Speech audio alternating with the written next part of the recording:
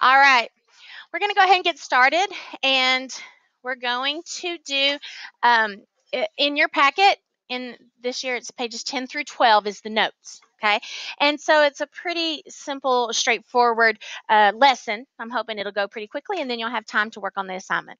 So it's types of histograms, and we're going to talk mainly about just regular histograms and what they are, and cumulative histograms. All right, so if you turn over in your packet to page 10, then you'll see we got these notes right here histograms and cumulative frequency histograms. So this is the final way to graph quantitative data that we're going to study.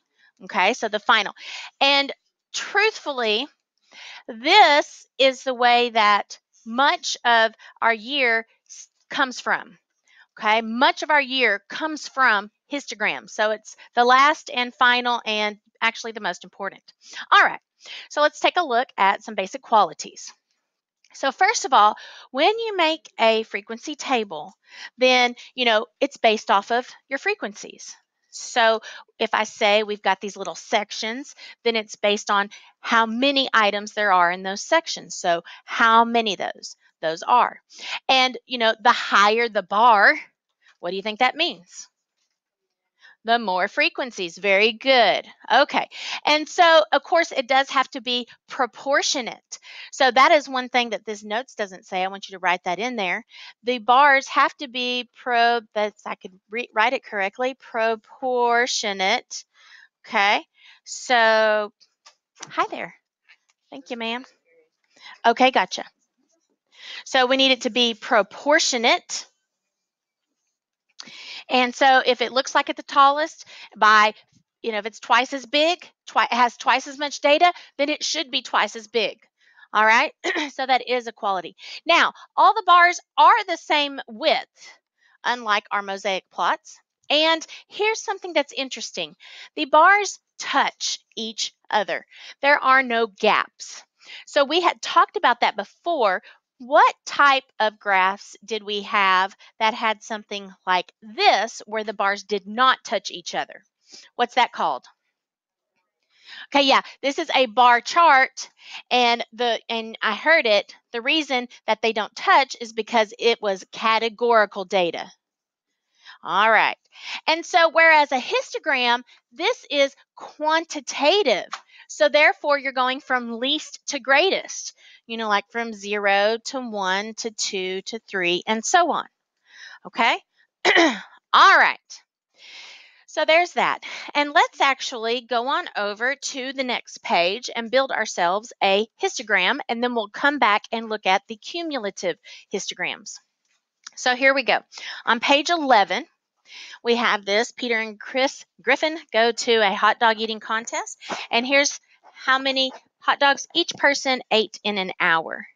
So that's a little scary to me, but wow. Okay, so you know, some people, do you know people train for that, for the eating contest? I guess to like keep their stomach stretched out or something. I don't know. It's just messed up. Okay, so now, so we're going to construct a histogram to display these results. And one, the first thing that we have to do is kind of like organize our data. Okay, we need to organize our data. So, what do you think our histogram's going to do? Go it's going to go from what to what? So like what's our range, our min and our max?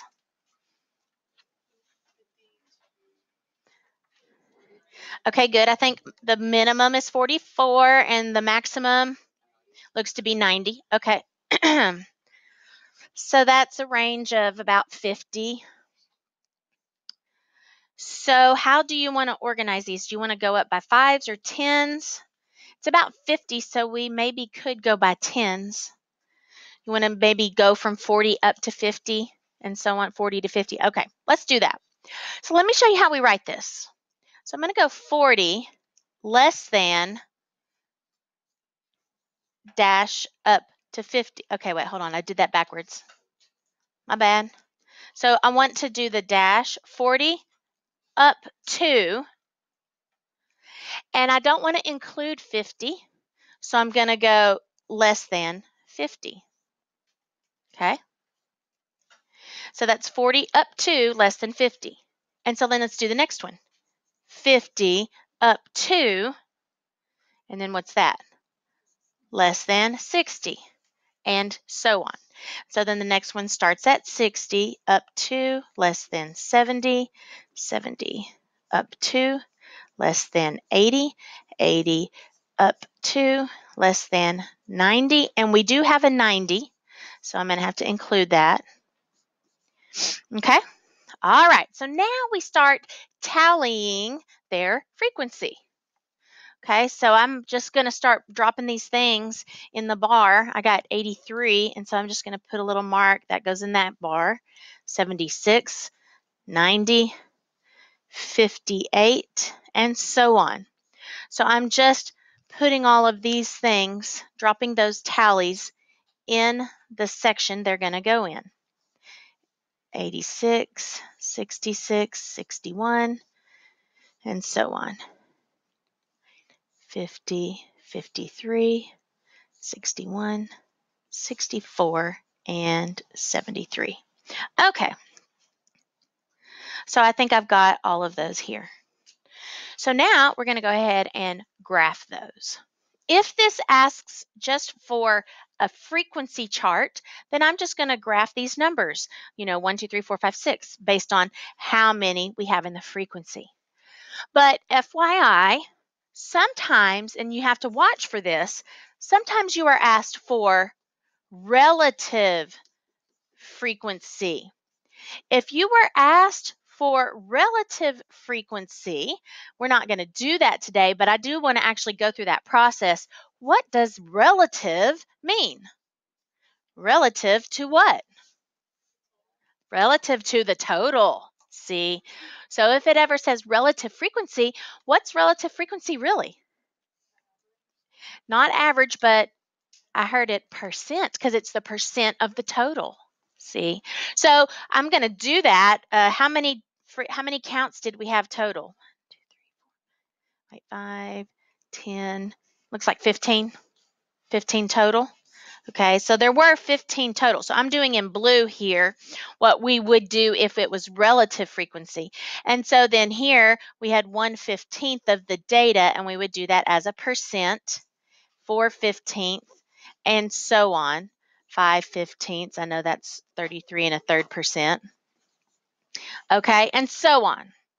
Um, and 2 fifteenths and whatnot. Okay, so if this had been asking you for the relative frequency histogram, then you would have to take it one step further and get the percentages.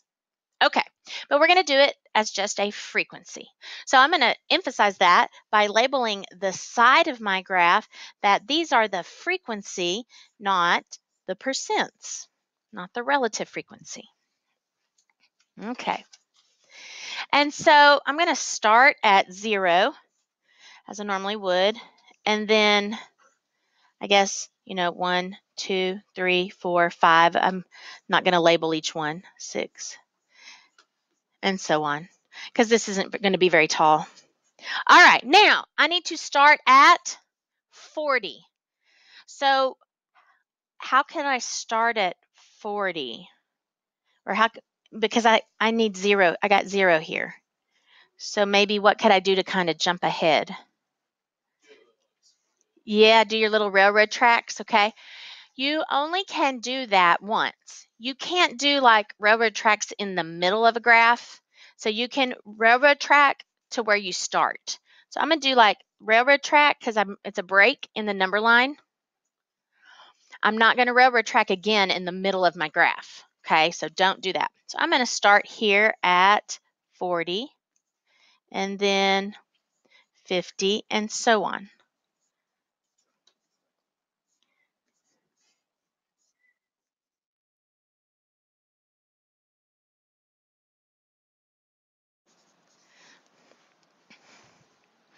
Okay.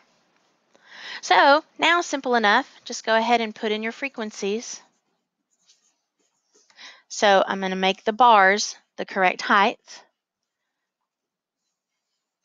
And they touch because this is a histogram. It goes up to those numbers. number two, or two, and then two, and then one. Okay, and so there's that. There's my bars. And so I'm going to color those in real quick with uh, something that's easier to color it in. All right, there's our frequency, our histogram. Okay, so the idea is you're supposed to know deep in your bones that it is very clear that the higher the bar, the higher the frequency. The higher the bar, the higher the frequency. More things are from 60 to 70 than any other. Okay? All right. So now, with this, could I do th something like find where the median was and such? I can.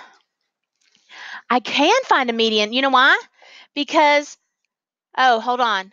You're right. I cannot find exactly what the median is, but I could I approximate the median? I actually, because I have all this data listed out, I could put it in order and I could go ahead and find the exact. But FYI, if all I had was a histogram, I could approximate where the median is. How could I approximate where the median is? If I just wanted to approximate it, because we're going to do this later. How, what piece of data will it be? If there's 15 pieces of data, which numbered value is it? It's the which one? The okay okay so it's the yeah in between so I can split it in half 7 and 7 that's 14 so it's number 8 it's the eighth piece of data okay so I'm going to approximate the median it's the eighth piece of data so here I got one two three four five six seven eight so it is going to be somewhere in which bar? The 60 to 70. So if I had to approximate it and I didn't have all of the exact pieces of data, then I could approximate it between 60 but less than 70. Okay.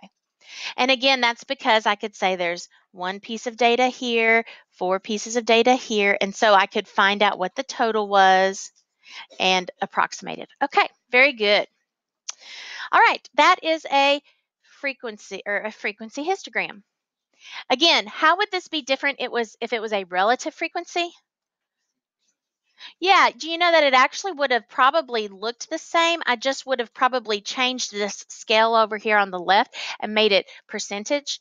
Um, but because it's all drawn proportionately, my bars actually could have been the same height and such. Okay. All right, moving back. Now let's talk about a cumulative frequency histogram. So cumulative meaning what? What? Cumulative. All up to that point. Good. Okay, we're going to accumulate up to that point. It is a running total of the frequencies. So all bars are the same width still. The bars still do touch each other because we've got still um, histogram quantitative data. And so here's interesting. We have the sum of the data in all the preceding. So it's everything up to that point. Everything up to that point. And incidentally, when we finish, we have the highest bar, and that includes the total of all of the pieces of data.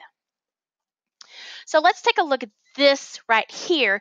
Unfortunately, the last item is not drawn to scale, so I don't like that about this. I probably should uh, fix that a little bit, but let's take a look here.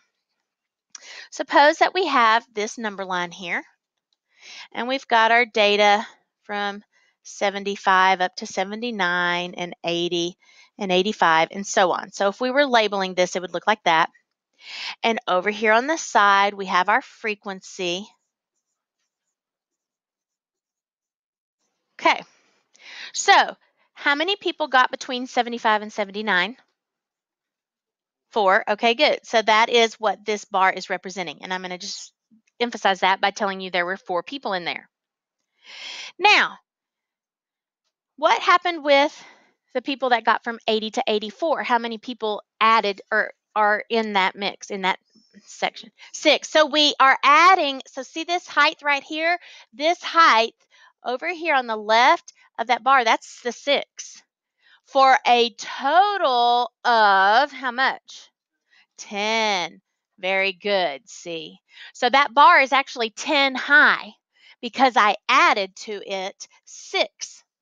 So if I had not had the information, so this height is 6 high.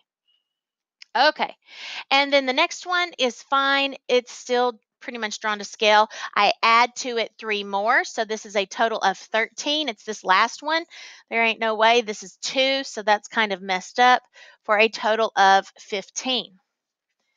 Now, if this had been relative frequency, let's just talk about that. If it had been relative frequency,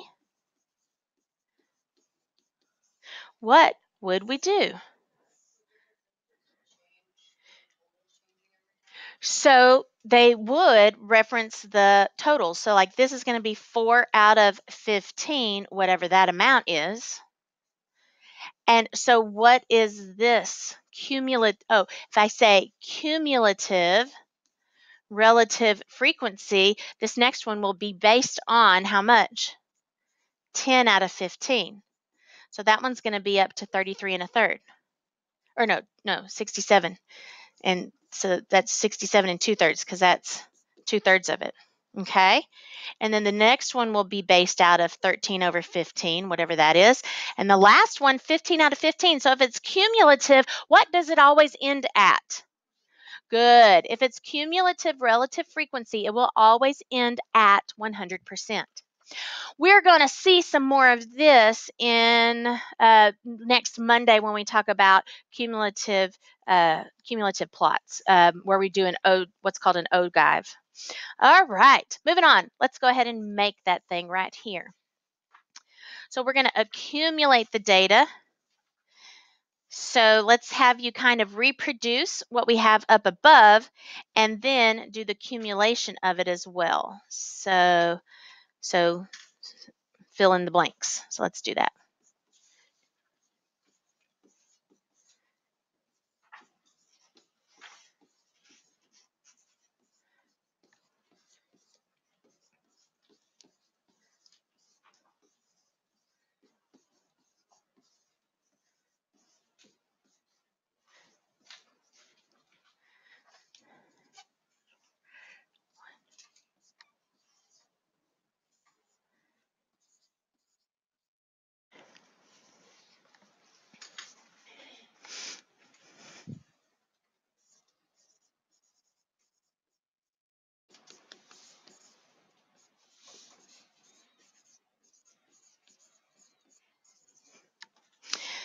All right, so I also noticed I did not do label my x-axis. This was number of hot dogs.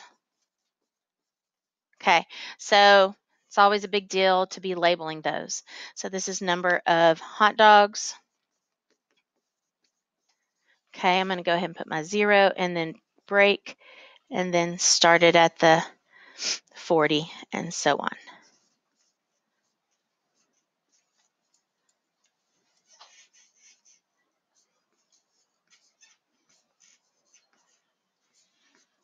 All right. Now, notice on the left, I labeled it as cumulative frequency. Okay. So we're going to go ahead and, you know, put our, we label the left.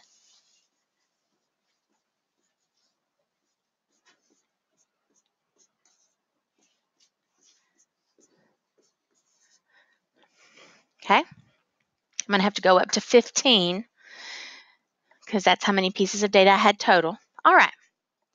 So here's my question now.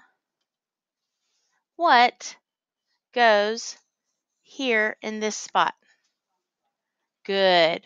That is 5 because we are taking the 1 plus the next one's 4 and adding it together to get 5.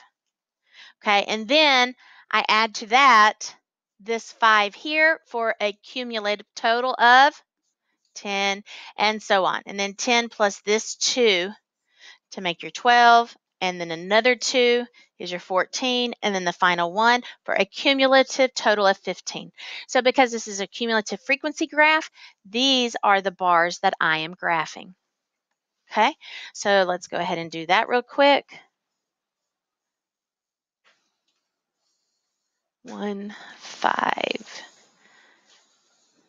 ten, twelve, fourteen,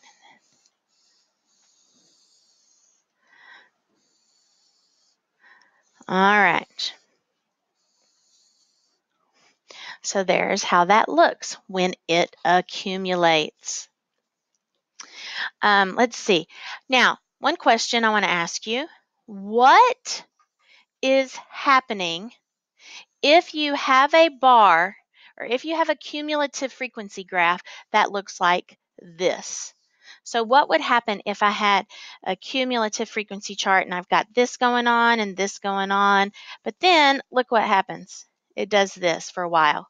What happened in this section here? Good. There was nothing added. So no, so somebody had something here, but then these three sections, nothing was added. Okay, good. All right, I think that's pretty much it. Here's another um, page of practice. However, we've kind of already been talking about the percentage as we went, and so I'm just going to leave it at that. I think you might figure it out. Um, okay, and so um, one of the types of questions that we don't know how to answer yet is about the skew and which one is higher, mean, median, or mean. I'm going to actually give you a way to, you're going to learn those tomorrow. So if on your assignment, pages 13 and 14, you come across something asking you about the shape or about the mean or the median, skip that for today and I'll talk to you about those tomorrow. All right, so I think I'm just going to let you then go and do your problems on pages 13 and 14. Hopefully you can finish that in class.